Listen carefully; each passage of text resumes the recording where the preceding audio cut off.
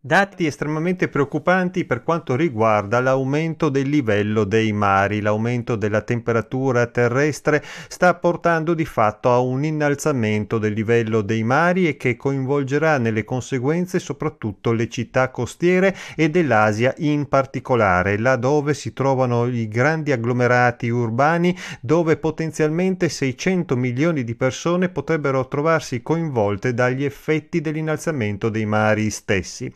4,1 mm all'anno, questo è il livello d'aumento progressivo che si sta avendo in questo momento con una riduzione dei ghiacci delle calotte polari del 20% e città come Mumbai, come Shanghai si trovano a dover affrontare in futuro, in un prossimo futuro, delle problematiche decisamente importanti. Basti pensare che in Indonesia la città di Jakarta verrà sostanzialmente trasferita, trasferita nel Borneo, laddove sorgerà la nuova capitale. Jakarta in questo momento vede il 40% del suo territorio già colpito dagli effetti dell'innalzamento dei mari. La stessa Mumbai, 20 milioni di abitanti nel 2050, vedrà l'80% del suo territorio colpito dalle conseguenze dello stesso innalzamento. Insomma, problematiche che in questo momento si stanno affacciando nel contesto globale in modo assolutamente serio e preoccupante.